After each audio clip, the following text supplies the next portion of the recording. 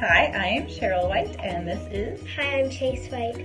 And we are going to tell you why CCT has been so great for our family. Johnny is actually the one who started out in CCT uh, about when he was about 10 years old, so about 10 years ago, and he was in Baba Yaga for his very first time. And I think the experience at CCT and in theater in general just gave him so much confidence, um, helped him develop some creative thought process uh, give awesome memories and friendships, and I think that's something that can't be duplicated in a lot of other activities for kids. Now, my younger kids are starting to, to participate. Chase is been in, has been in a few shows now, and Johnny came to see her in one of those shows and decided that he wanted to do a show with her before leaving for the Navy. So he got all excited, and CCT knew that he was leaving and knew that it was going to be special for our family. So when they were in The Wizard of Oz, cast Johnny as the Cowardly Lion, and Chase got to be one of his little mice uh, helper friends, and it was super special for our family to see them perform together. And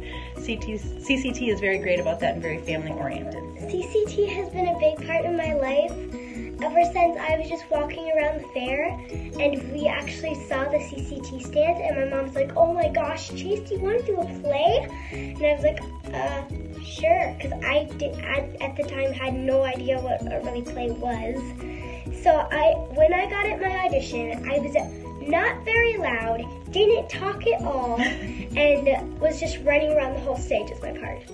So everyone, even the people that just run around the stage, they pretty much all made it in. And I like that because not all theaters do it. They're a really small theater, but they make a big difference in kids' lives.